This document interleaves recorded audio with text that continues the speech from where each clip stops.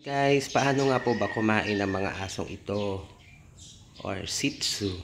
Yan po, bago siya kumain guys, nagdarasal po muna siya. Mabuti pang aso nagdarasal bago kumain. Pero actually guys, nakakain na yan. Diyadasalan niya uli guys. Dahil today is Easter Sunday. Yan. Siya po si Si Chinky. Hello, Chinky. Say hi, Chinky. Say hi. Yan po. Actually, marami po yan kanina.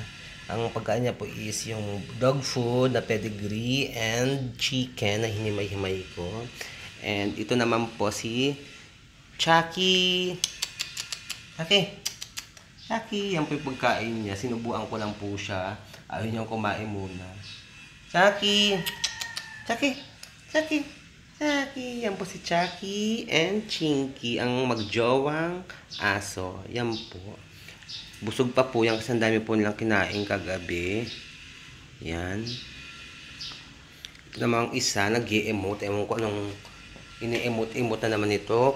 Pero marami na siyang kinain. Kahapon matakaw po yan. Yan guys, babay po muna. Babay na Chinky, babay.